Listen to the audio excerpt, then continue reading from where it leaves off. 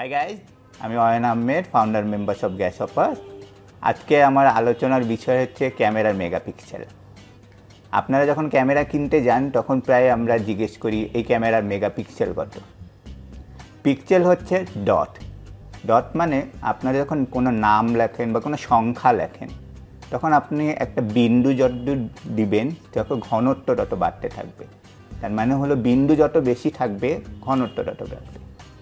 ছবির ক্ষেত্রে যেটা হয়, চার কোনা টাইলসের মতো। চার কোনা টাইলস, এখন দশ লাখ টাইল দিয়ে বোঝা হয় এক মেগাপিক্সেল। তার মানে হচ্ছে এক মিলিয়ন এক মেগাপিক্সেল ইকুয়াল এবং এটা দিয়ে টেন মেগাপিক্সেল দিয়ে বোঝানো যেতে পারে এক কোটি দশ লাখ। তো এখন আমরা যদি টেন মেগাপিক্সেলের থেকে একটা ছবির হিসাব নেই, অথবা যদি আমরা একটা ক্যামেরার গায়ে যদি দেখি টোয়েন্টি ফোর মেগাপিক্সেল সেই ক্ষেত্রে six thousand into four thousand আমরা যদি মাল্টিপল করি, তাহলে বের হয়ে যাবে twenty four megapixel twenty four megapixel মানে হলো আপনার এতটুকু সাইজে আপনারা ছবি তুললে যেই ছবিটা বড় করতে পারবেন।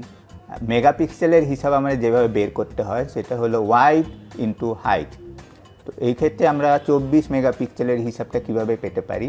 Just six thousand into four thousand তার মানে হচ্ছে সিক্স থাউজেন্ড ওয়াইড এবং ফোর থাউজেন্ড হাইট তো এইভাবে বের হয়ে যাচ্ছে চব্বিশ মেগাপিক্সেল। এখন আপনাদের ক্যামেরা সেটিংসে গেলে আপনারা ওখানে ফাইল সাইজ দেখে বের করতে পারবেন যে আপনার ক্যামেরায় কত মেগাপিক্সেলের ক্যামেরা হতে পারে। যেটার আপনার ওখানে সবচেয়ে হাইট ওয়াইড কোনটা হবে এবং হাইট হাইট কোনটা হবে সেটার থেকেই আপনি বের করে ফেলতে পারবেন। তো আমার এই এপিসোডটা যদি আপনাদের ভালো লেগে থাকে, আপনারা কমেন্ট করবেন টাইপ করে সাবস্ক্রাইব করবেন এবং বেল বাটন চাপ দিয়ে কন্টিনিউয়াস আমার সাথেই থাকবেন। Okay thank you